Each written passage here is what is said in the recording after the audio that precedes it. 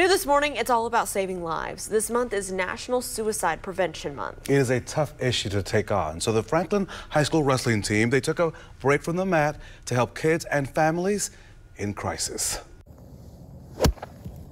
This sport, in which silence and line of sight are key, brought together these players to make sure teens are seen and heard.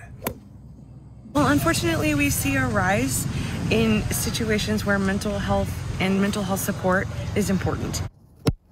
22 teams wrestled with their best techniques out here on the golf course.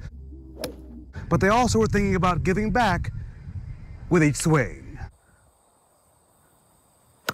A lot of people have issues at home and they need somebody to talk to, or they might be having a situation with a friend at school, um, even a sibling. Um, we've had people reach out to us and, you know, maybe they need a resource or a phone number to call, and Upstream is part of that. They have a, a hotline that you can call.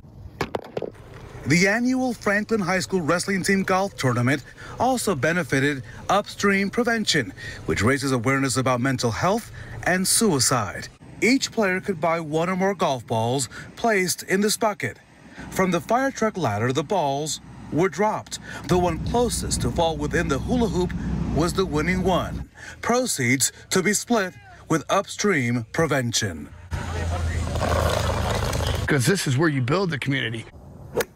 It happens in the atmosphere in the gym, you know, that moment. But all this is built at other times and just bringing people together and saying we're Franklin Wrestling and we're out here doing this for your kids and for the kids in this community and and you're paying back for you know they have a sense of being part of the team.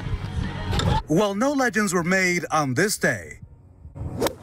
This event shed light that with community support, much can be accomplished using sports to get the word out, using sports to make a difference. Listen, if you need help right now, you can always call 988 for mental health services as well as resources. And of course, best of luck to all the wrestling teams at Franklin and across the state as your upcoming season is underway. But what a great way really to use yeah. golf and wrestling to remind people that, hey, check in on each other. Yeah, that's right? great. It's a good thing. Very creative. Good job, Franklin.